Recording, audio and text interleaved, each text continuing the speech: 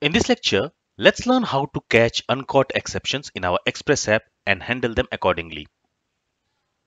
Basically, all the errors that occurs in our synchronous code but are not handled anywhere are called as uncaught exceptions.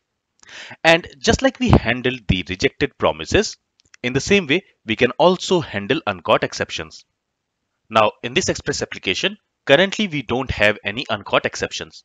But let's go ahead and let's introduce one. So after this line, what I will do is I will try to log a variable which we have not defined.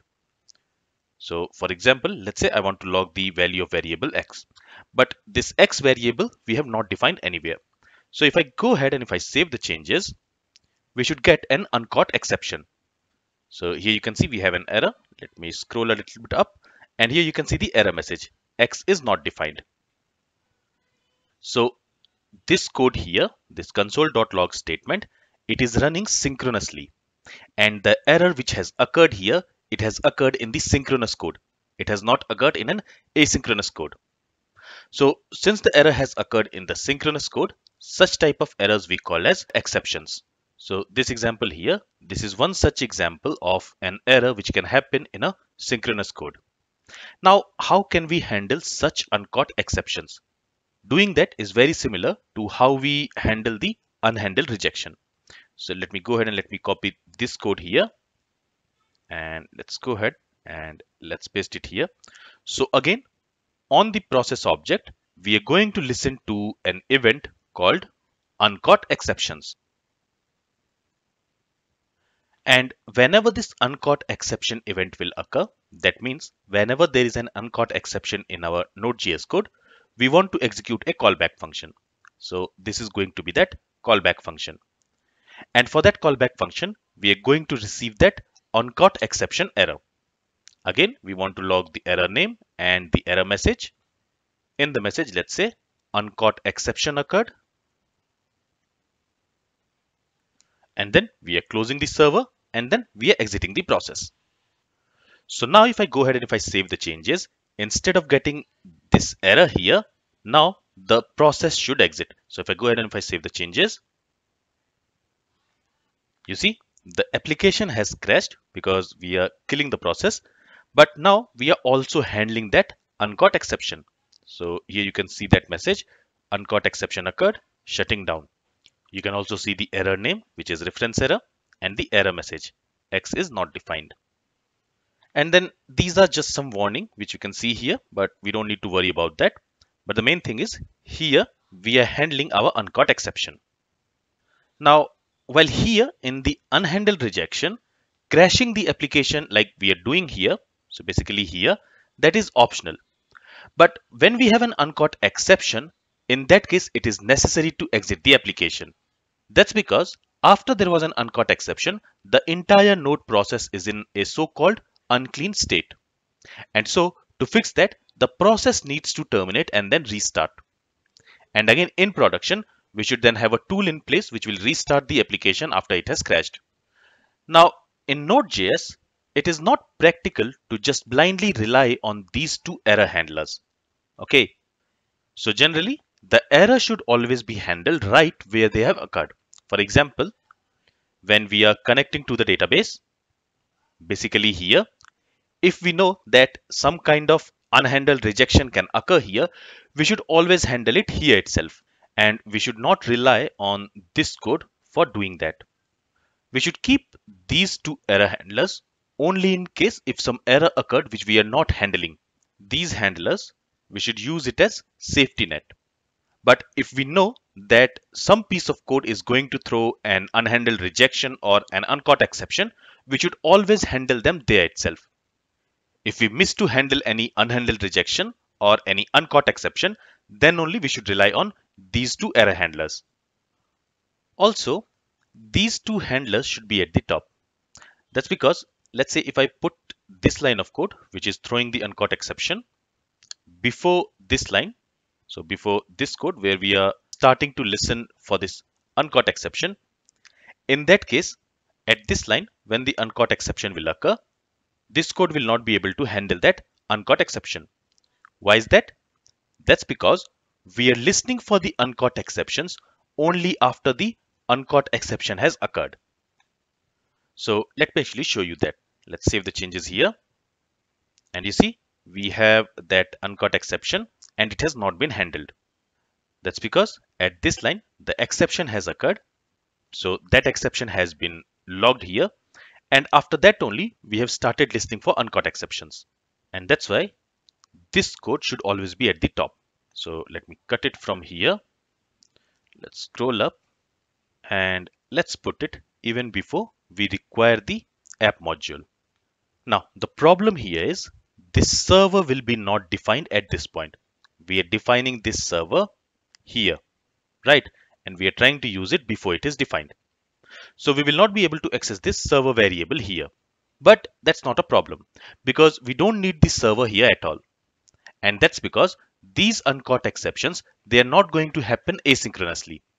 And these errors does not have to do anything with the server. Okay, so all the uncaught exceptions which will occur, it will happen in synchronous code and it does not have to do anything with the server. So we don't need that server variable there. We can simply exit the process. And now, since we have this code before the exception has actually occurred, that means we are listening to the uncaught exceptions before the exception is actually occurring. Now that should be handled. So if I save the changes and if I scroll down, now you can see the exception has been handled here.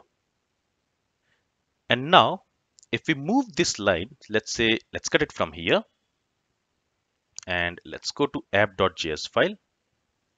Okay, and let's put it somewhere here. So maybe here. Let's save the changes here. And you see, it is still catching that exception.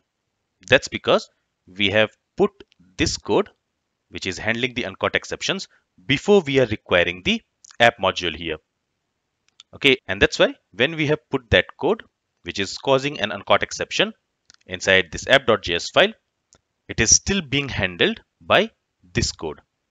But if I move this code after we have required the app.js file,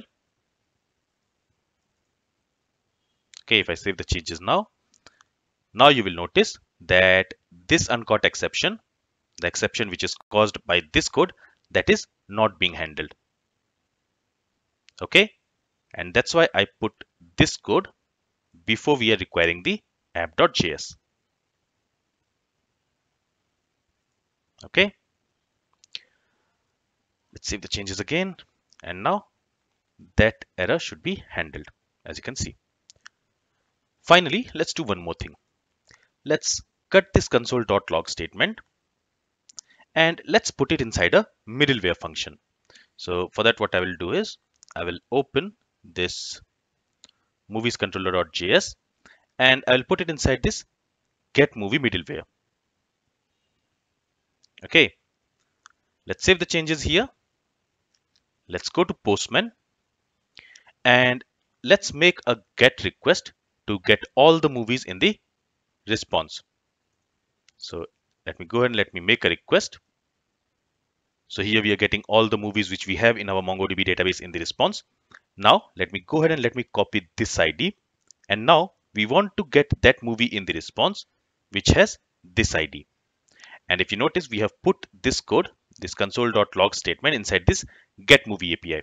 So in this case, when we are going to make a get request, it is going to call get movie API, right? So if I make a request, you see here we have an error and the error says something went wrong. Please try again later. Here we are not getting the movie object with this ID, but we know that in the database we have a movie object which has this ID. And if I go to VS Code, there also you will not see any error logged here. The reason why we do not have any error here in the terminal is because this middleware function, it will be executed by Express. Right. That means this error, it will happen inside Express. And all the errors that will happen inside Express, that will be handled by global error handling middleware. So in the error controller, we have this global error handling middleware. So we have learned that any error which will occur inside the Express, that will be handled by this global error handling middleware. So currently, this line of code, it is present inside a middleware function. That middleware function will be executed by Express. So any error that will occur inside that middleware function, that error will occur in Express. And any error that will occur in Express, that will be handled by the global error handling middleware. Okay, so when this uncaught error will happen inside this middleware function, it will be caught and it will be passed to this global error handling middleware. Now currently we are in the production environment. So when we are in the production environment, this else if statement will be executed. And in the else if statement, the error name is not cast error. It is reference error, right? So this condition will fail and the error code is also not 11,000. So this condition will also fail and error name is also not validation error. So this condition will also fail. Then in that case, this line of code will be executed. So from here, we are calling the prod errors. Let's scroll up. Here we have our prod errors. Now the error which has occurred, the reference error which has occurred here because of this line of code, on that we are not setting the is operational property. That means that error is not an operational error. So this condition will fail. We will go to else part and in the else part we are sending this response. Something went wrong. Please try again later. And that's what we are getting here in the response, right? Now, if I go ahead and if I run this application in development mode, for that, let me go ahead and let me stop the process by pressing Control C. And let me type npm run command. And we want to run start script. Let's press enter. So now the application should be running in the development mode. Let's go back to Postman and let's make a request again. And now you will see the actual error. So the error message is X is not defined. And here you can see the stack trace and you can see the default status code, which is 500. Okay. So in this lecture, we learned how we can handle uncaught exceptions. All right, let's go back to moviescontroller.js and from there, let's remove this line of code. Okay, let's save the changes. Let's go back to Postman and now we should get that movie object in the response with this given ID. Okay, here we are getting that movie object in this response which has this ID. Alright, so this is all from this lecture. If you have any questions, then feel free to ask it. Thank you for listening and have a great day.